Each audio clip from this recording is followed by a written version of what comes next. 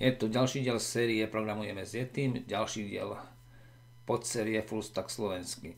Prešli sme k frameworku Express.js. V dnešnej lekcii si ukážeme smerovanie v tomto frameworku podrobnejšie ako minulé lekcii a nainštalujeme si tiež Nodemon, aby sme po každej zmene kódu nemuseli reštartovať náš server manuálne, ale reštartuje nám tento server ten program Nodemon. Takže si otvorím terminál Hyper, kde sa presuniem do priečinku plný zásobník. Tu si spustím Visual Studio Code, ale mohol by som si ešte predtým aj ten Nodemon hneď nainštalovať, takže npm nainštaluj Nodemon a nainštalujem to ako vývojárskú závislosť. Dám tam D.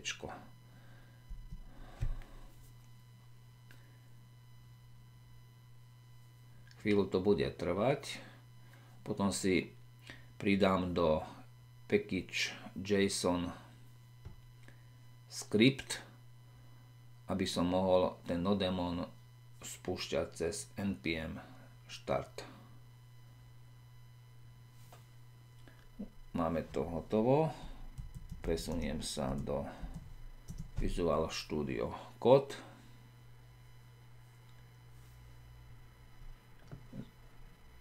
Môžem si nechať index.js, pozriem sa na package.json.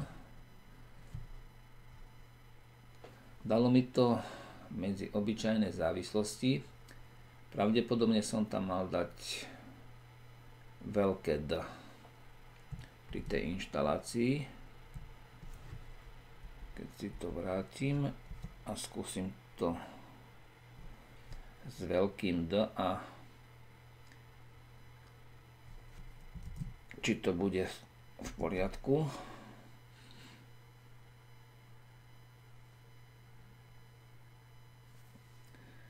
Ideme späť do VS kódu. A už tu máme vývárske závislosti. A zmizla tá závislosť na dodemon z obyčajných závislostí. Takže veľké data musí byť.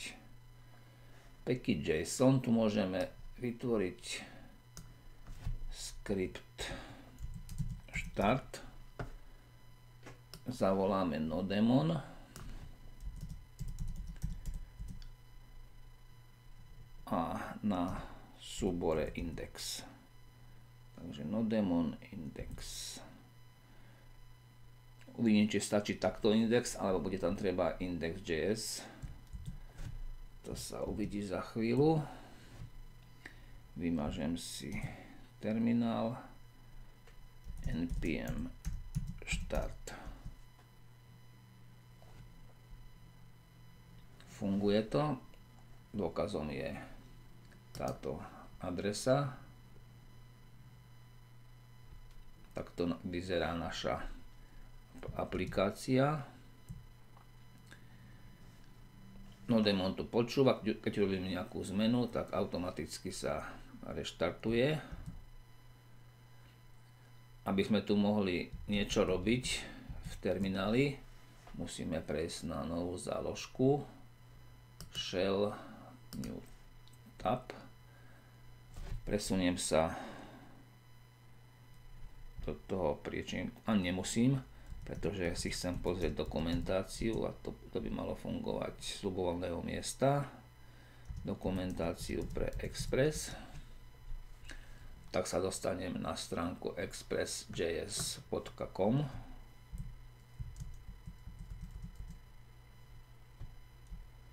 a tu vidíme, že existuje aj slovenská verzia.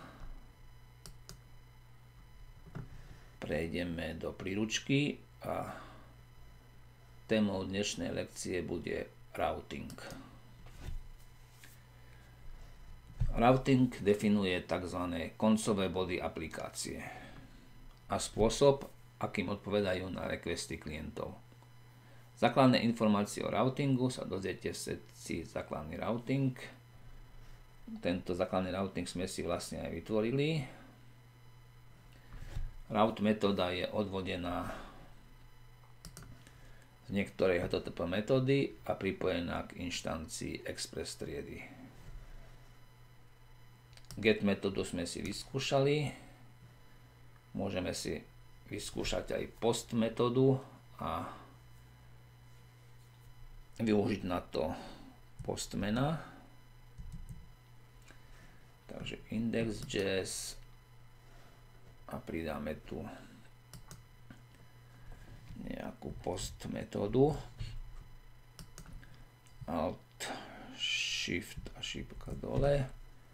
Metóda post.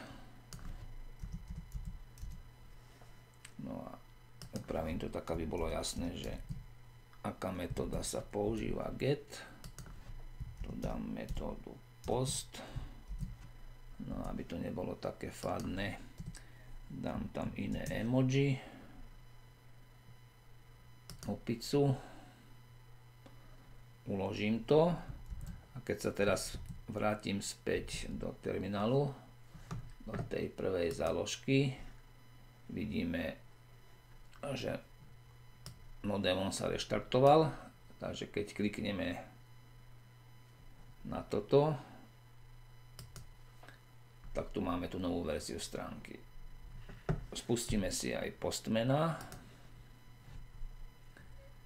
aby sme mohli použiť požiadavku post. Treba mu to nejako dlho.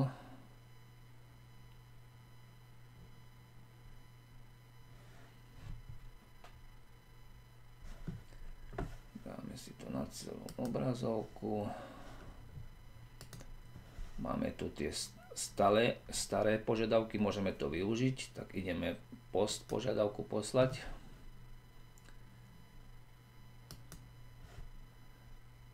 A dostali sme odpoveď s tou opicou. A keď pošleme get požiadavku, dostaneme tú lienku. Máme tu viacej metód, vyskúšame si dnes aspoň jednu z nich. Ideme späť na webovú stránku, na ďalšiu záložku, tu máme tu starú verziu. Express podporuje tieto routing metódy, korešpondujúce k metódam. Vidíme, že ich tu je celkom veľký počet, Existuje špeciálna routing metóda menom all, ktorá nie je odvodená zo žiadnej HTTP metódy. Táto metóda sa používa ako middleware funkcia. Middleware to je prostredník. Je to, keď príde požiadavka na náš server, tak tento middleware tú požiadavku spracuje a až potom ju odozdá ďalej. Tak. A máme tu jeden argument navyše next, to je funkcia, ktorú keď zavoláme, tak sa to spracovanie odozdáva ďalšiemu ovládaču. Tak vyskúšame si toto. Môžeme si vytvoriť nejakú stránku tajnú. Do konzoly na strane servera dáme, že máme prístup do tajnej sekcie a potom zavoláme tú funkciu next, čo dozdáva spracovanie ďalšiemu ovládaču. Uvidíme, ako to funguje.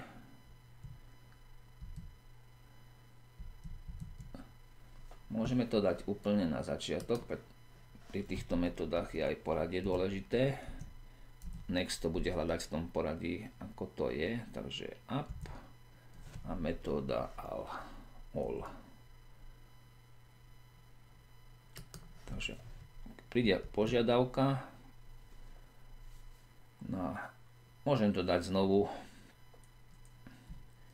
na ten koreňový adresár.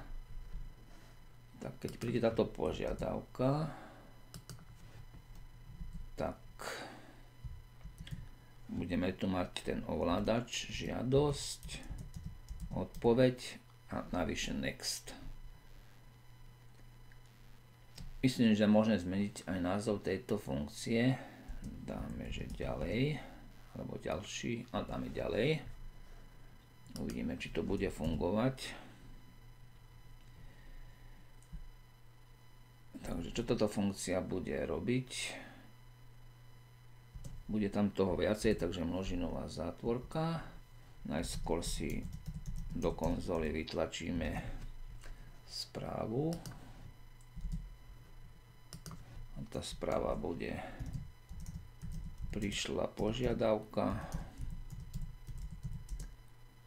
na koreňový adresár.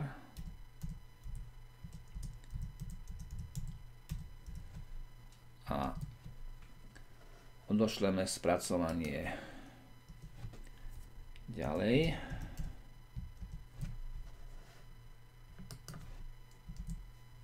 Uložím to. A ideme možno do postmena. Pošleme znova get požiadavku. Dostali sme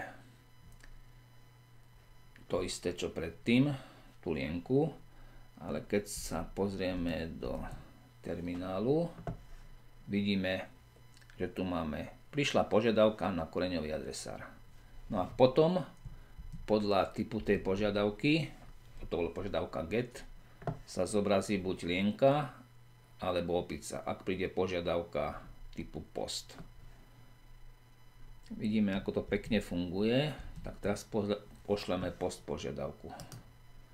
Post a máme tu tú adresu 127.00 na ten localhost a 3000. Tak pošielame post požiadavku a máme tu opicu. A keď sa pozrieme do konzoly, prišla požiadavka na koreňový adresár. Super. Zatiaľ to funguje presne tak, ako má.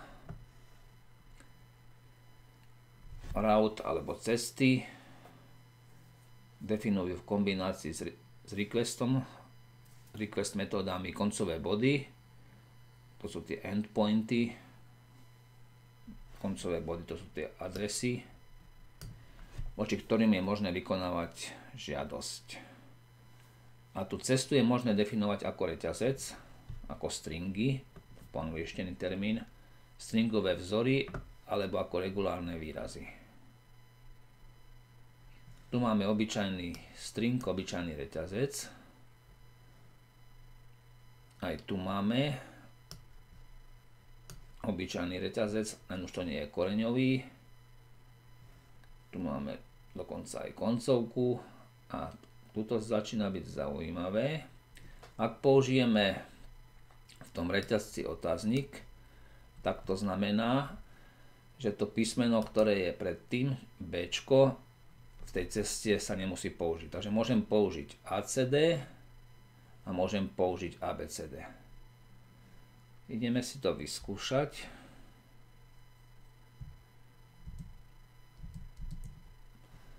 Takže dáme tu požiadavku, aby sme si ukázali aj inú. Použijeme metódu put. A teraz dáme požiadavku na cestu. Koreňový adresár to bude. Pozrieme sa, že či tam musíme dávať to lomítko no áno je to cesta vždycky s lomítkom takže lomítko a dáme nejaké slovo, kde by sme mohli niečo vynechať. Napríklad dom. Môže byť dom a môže byť doma. Takže dáme dom, otáznik, ak ho, nájdem, kde si otáznik a Ačko. Takže bude to fungovať pre koncový bod, endpoint, dom aj pre doma. Čo tu dáme?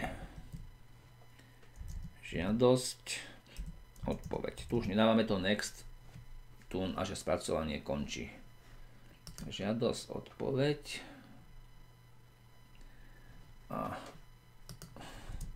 šipková funkcia.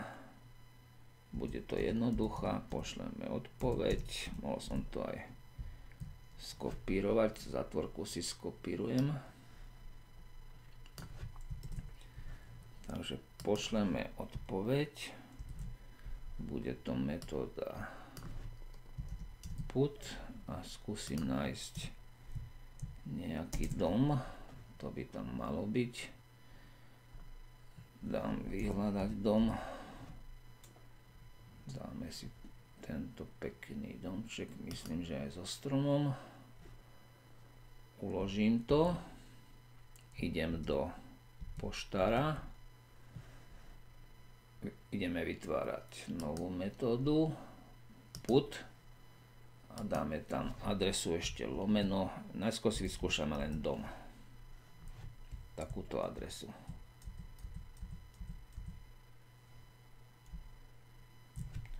tú adresu vidieť väčšími písmenami aj tu. Takže požiadavka na dom.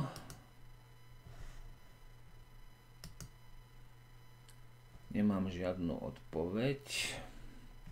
Pozrieme sa, kde je chyba. Localhost 3000. Tu sa neobjavila žiadna chyba pozrieme na program, post, dom, otáznik Ačko, žiadosť odpoveď,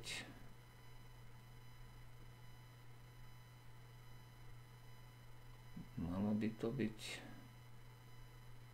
v poriadku, dom, otáznik Ačko, je to reťazec, Zaujímavé, že sa neobjavila ani v konzole ten nápis.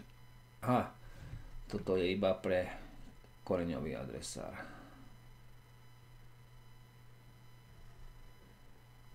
A keď príde na doma,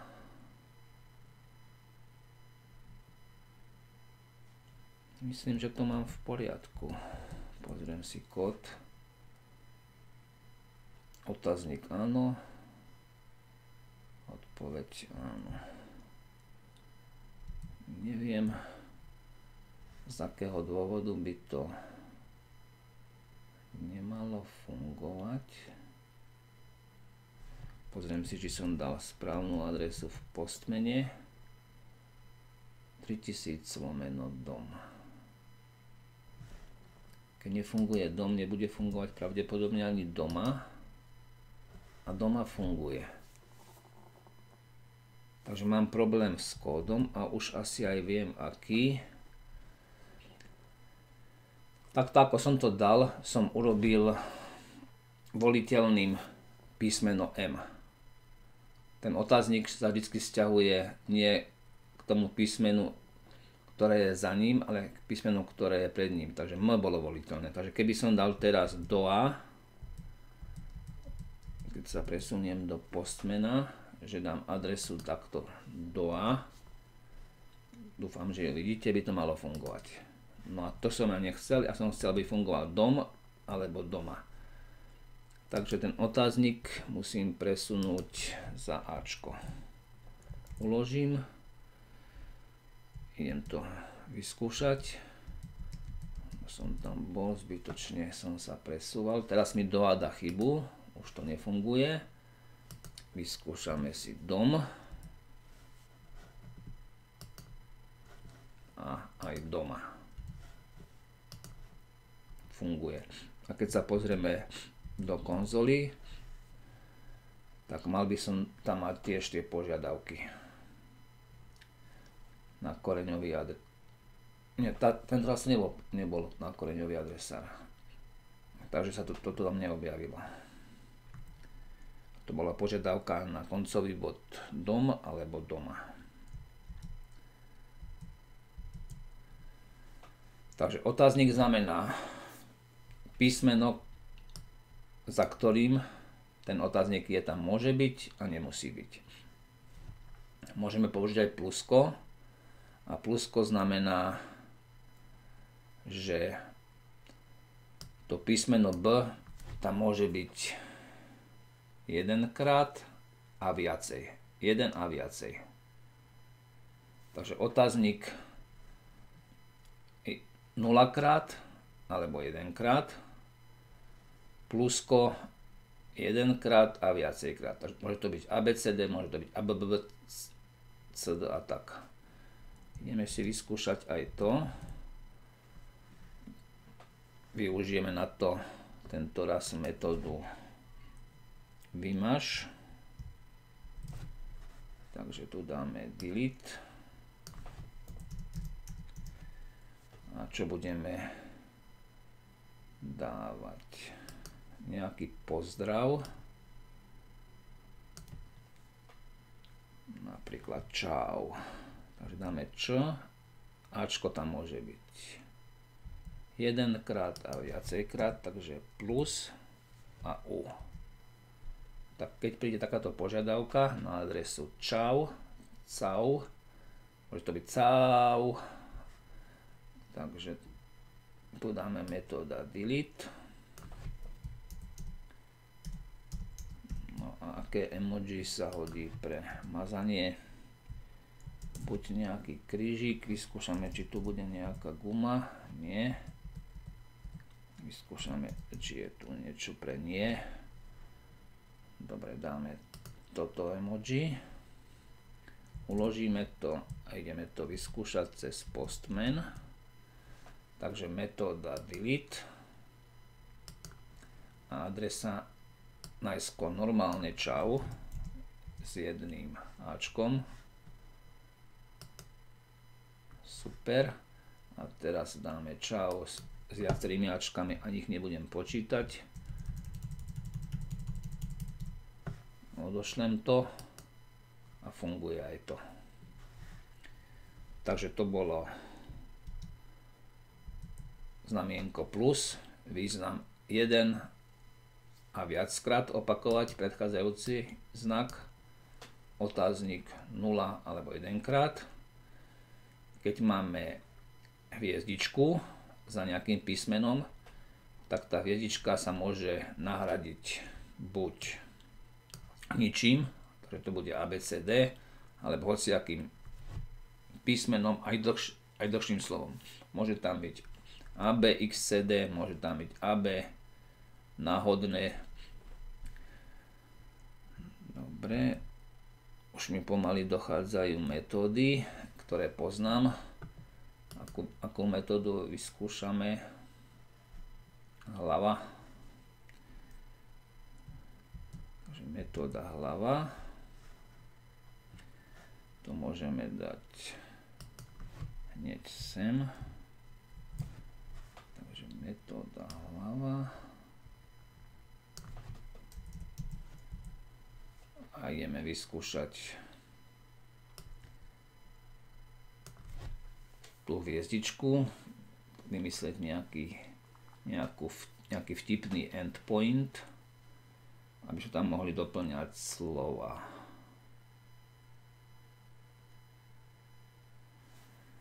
No, čo dáme?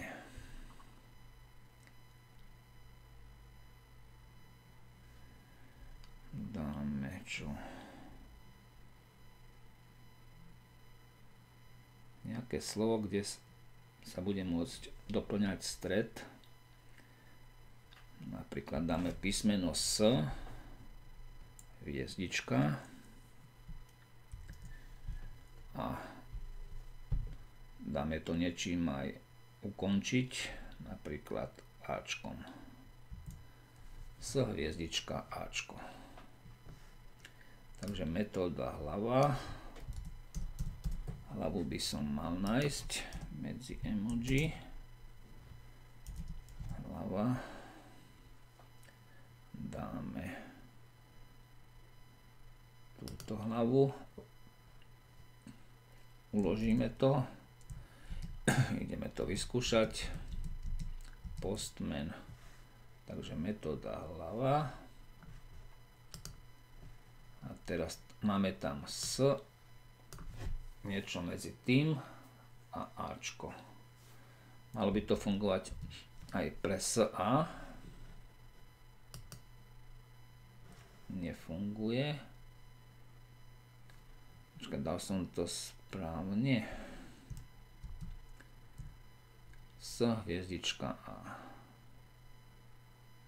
A hviezdička má význam nič.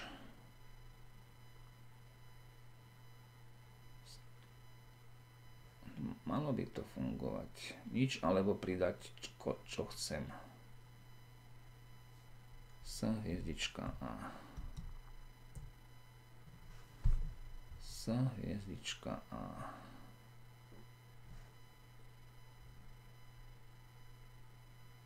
Lomeno sa A.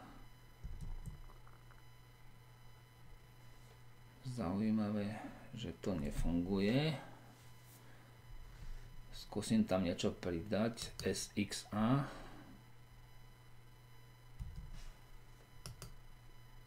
Ani to nefunguje. Z akého dôvodu? Takže metóda hlava sa hviezdička A. cestu tam mám, odpoveď je správna. Ešte sa pozriem do terminálu. Toto mi nie je jasné. Dôvod, pre ktorý to nefunguje. Sa hviezdička a nie, nie som v konflikte s ničím.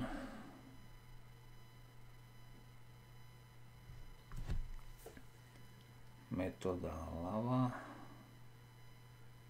Myslím, že takúto metódu podporuje Express. Môžeme si to pozrieť. Myslím, že tam bola hlava. S hviezdička a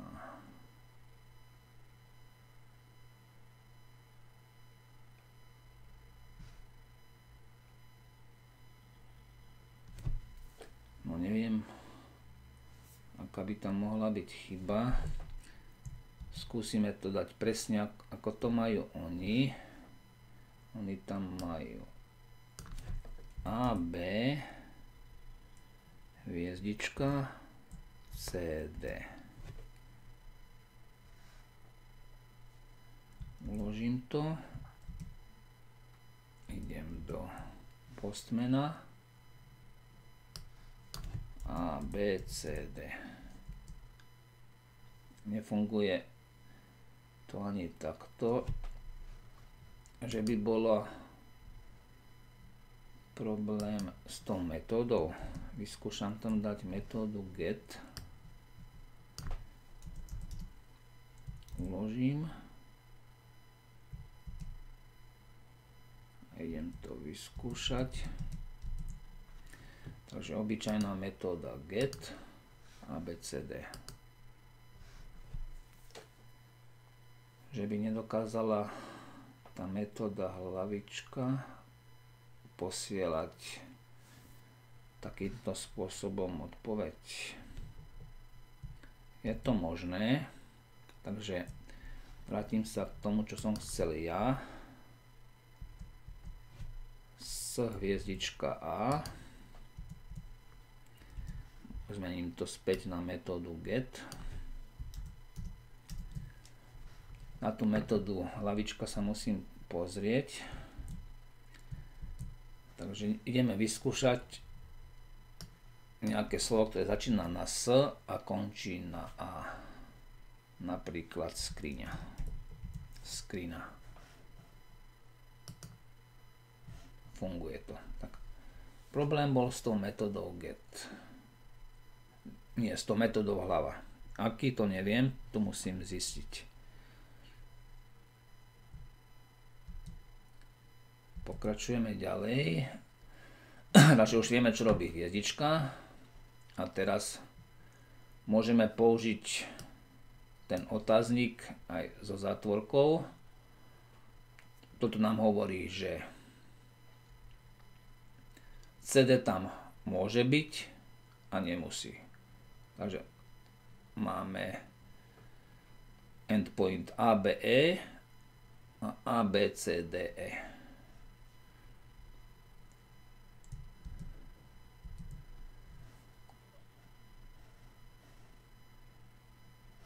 Ideme teda vytvárať ďalšiu cestu. Necháme metódu get. A teraz tam dáme opäť niečo také, čo sa dá vynechať. Napríklad by sme mali s LO otáznik Takže môže to byť slon alebo len sn. Slon alebo sn. Takže get a môžeme tam dať toho slona, aj keď vždy by tam nemal byť iba pri slonovi. Takže slon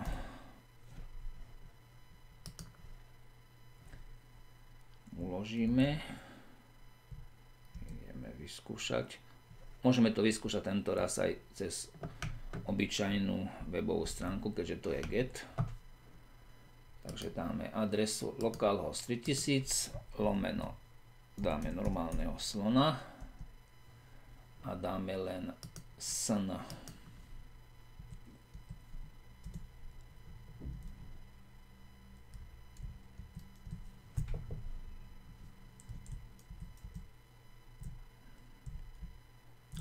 Malo by aj toto fungovať. Dobre, a keby som tam dal, že A, to nám zodpoveda iné adrese, ktorá začína na S a končí na A, takže dám nie A, ale SNB, zbor národnej bezpečnosti po česky. SNB skúšam.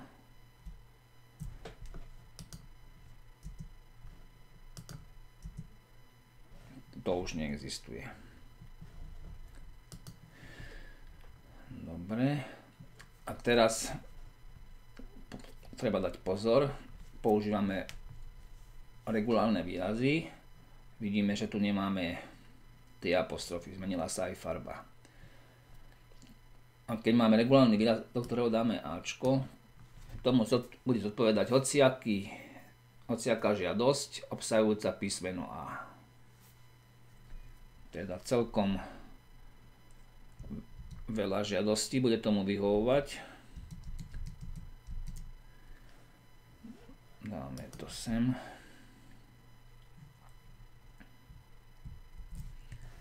Takže preč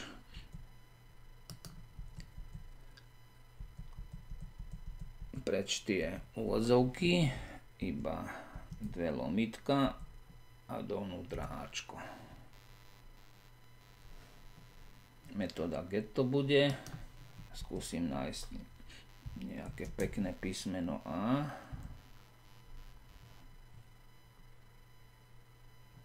Vyskúšame toto. Uložím to.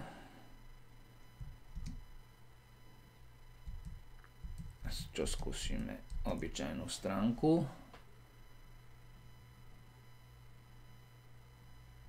Tu máme tú chybu, dáme adresu lomeno a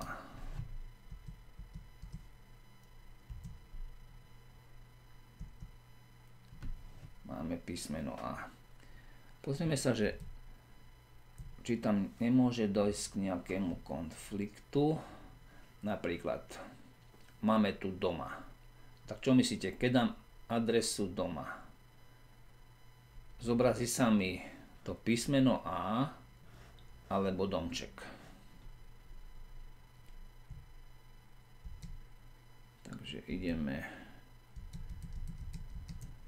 sem, zmením adresu na doma.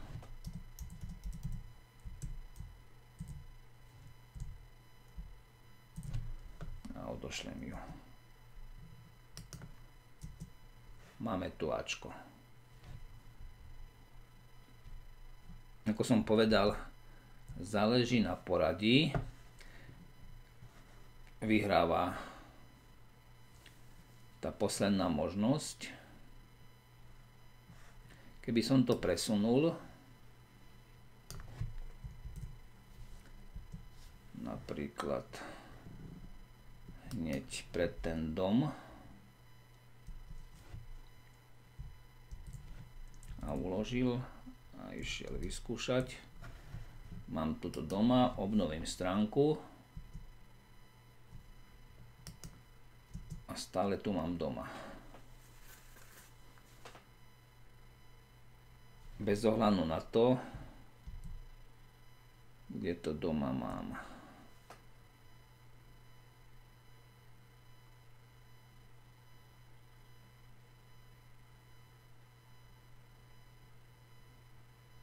pretože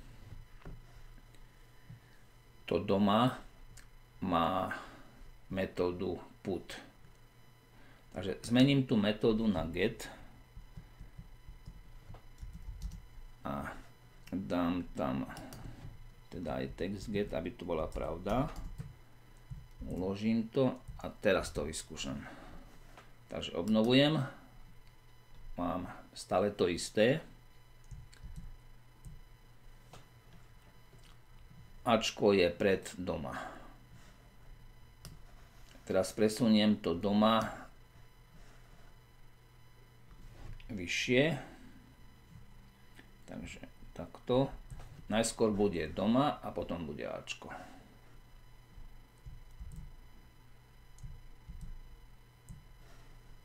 Tá istá adresa doma. Obnovujem stránku a mám tu domček.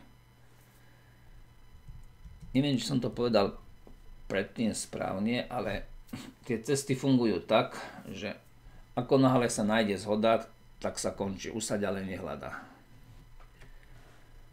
Doma sa nájde tu, takže už sa nepozerá, že vyhovuje aj táto cesta.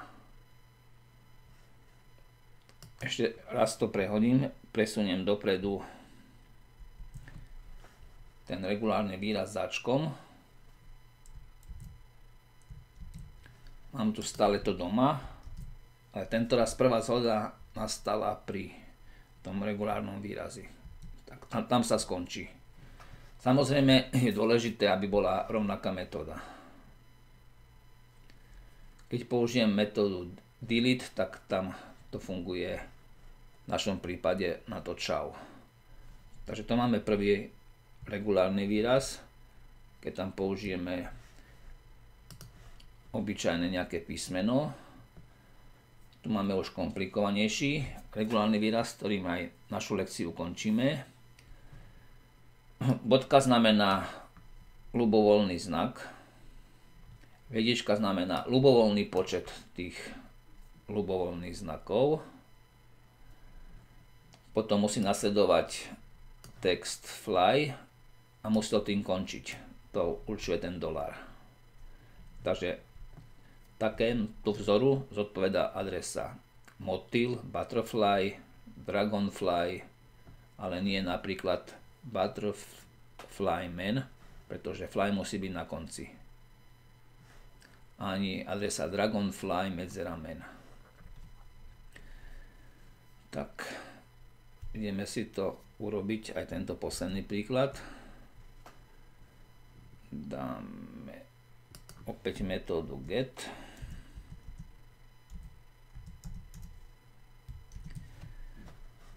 Dáme tam ten vzor, ten regulárny výraz, takže lomitko, lomitko. A bude to, čo si tam dáme, ľubovoľný znak, ľubovoľný počet krát. A čím to bude končiť? Nejaká koncovka, ku ktorej môžeme niečo pridávať. Dáme pes. A na konci dolár.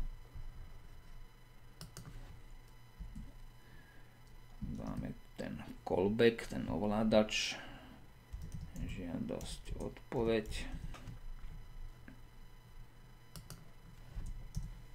Akú dáme odpoveď?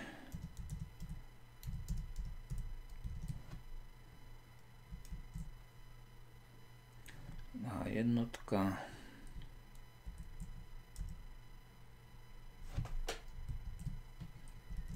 Ukončiť A jednotku. takže bude to get a dáme psa. Psa ešte nemáme. To by sme mohli mať aj tu, hlavu. Takže keď bude nejaká adresa, ktorá končí na pes. Teoreticky, pretože môže nastať zhoda už skôr, tak ideme si to vyskúšať. Dám tu lomeno pes.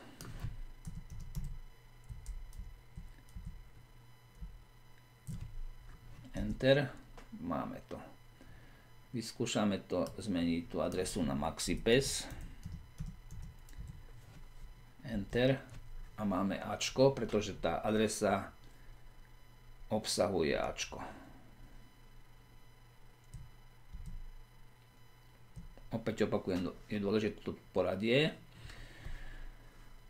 Presuniem toho Maxipsa viacej dopredu, vystrihnem ho a dám ho ešte pred to Ačko. To Ačko je príliš všeobecné, takže by sa to hodilo to Ačko použiť až úplne nakoniec. Keď nenájdem nič, čo obsahuje Ačko až potom. Takže dám to až úplne nakoniec. Tak ideme vyskúšať teraz toho Maxipsa. Obnovím stránku a máme tu naozaj psa. Končím túto lekciu, kde sme sa venovali routingu využitím frameworku Express.js.